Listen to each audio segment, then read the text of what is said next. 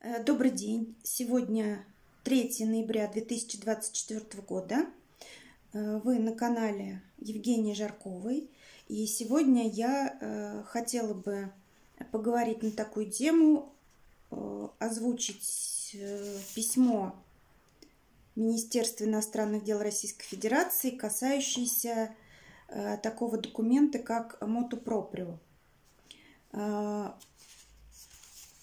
Подписчики мне задавали вопрос, знаком ли мне этот документ Мотопроприо.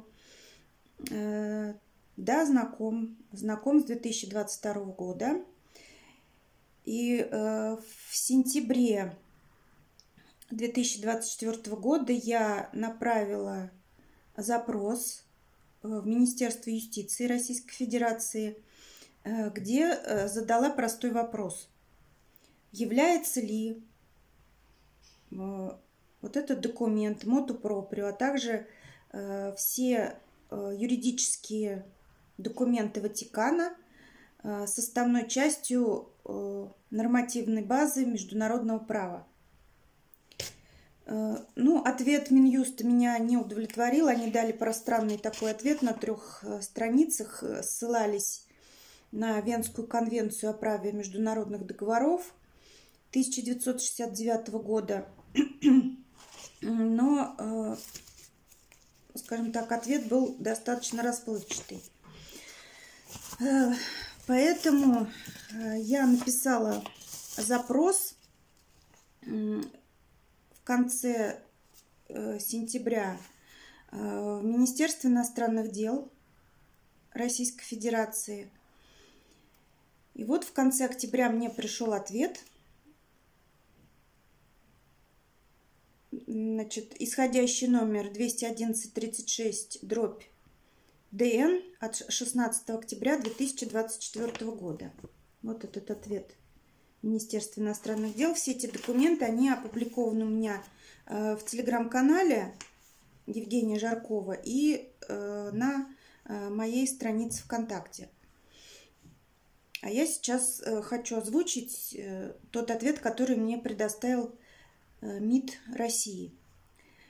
Уважаемая Евгения Васильевна, э, в связи с вашим обращением от 4 октября 2024 года, поступившим в правовой департамент МИД России 7 октября 2024 года, сообщаем следующее. Первое. Согласны э, с данными Министерством юстиции Российской Федерации разъяснениями относительно юридической природы канонических предписаний Ватикана – в том числе папских рескриптов э, про приумоту. Письмо от 17 сентября 2024 года, номер 06-97210-24. Они не относятся к нормам международного права и в целом не порождают каких-либо правовых последствий на территории Российской Федерации. Второе. Рескрипт Папы Франциска про приумоту от 11 июля 2013 года касается реформирования уголовного судопроизводства на территории Ватикана. А в части, касающейся приведения законодательства этого государства в соответствии с нормами международного права.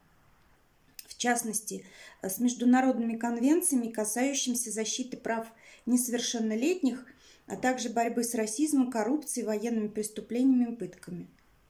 Третье.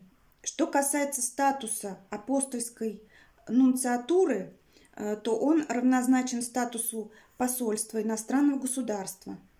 Основанием для э, создания и функционирования дипломатических представительств иностранных государств в Российской Федерации является наличие дипломатических или иных подобных отношений с соответствующим государством – между СССР и Ватиканом официальные отношения были установлены 15 марта 1990 года на уровне представителей в ранге посла для Ватикана Нунция.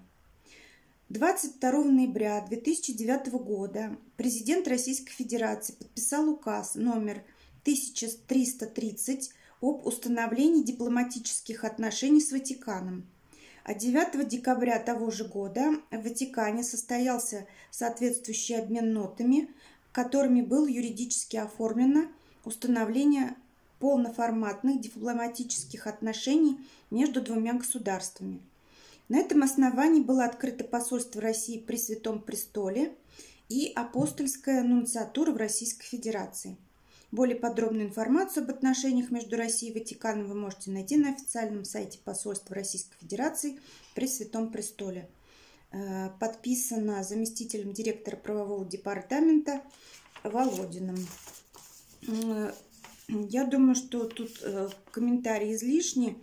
Единственное, что я хочу сказать, что все мировое управление глобальное, оно строится на взаимоотношении между орденами.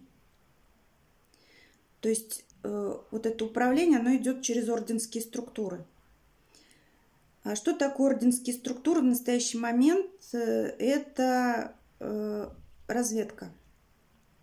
То есть орден – это равнозначно э, разведке, развед, разведывательной структуре. У них есть э, свой устав, у каждого ордена есть свой устав, который должны соблюдать все его члены. Процесс этот был достаточно длительный, то есть изначально ордена, они были связаны с торговлей, Э, с международными путями. Но потом постепенно э, вот эти ордена, они превратились э, ну, в такие вот, скажем так, тайные структуры тайного управления. И тогда потом впоследствии пошел процесс отделения орденов от спецслужб. Сейчас вот этот процесс, он пошел в обратную сторону. Э, то есть сейчас э, спецслужбы это есть э, вот эти тайные ордена. Поэтому руководствуются они не какими-то документами Ватикана, а своими внутренними документами. Я говорю еще раз, у каждого ордена у них есть свой устав, который они должны, члены этого ордена, они должны соблюдать. Ну, в общем-то, вот э, на сегодня у меня на эту тему все. Э, еще раз э, хочу сказать, что все эти документы вы можете найти на моей личной странице ВКонтакте и на телеграм-канале. Благодарю за внимание. Всем хорошего дня.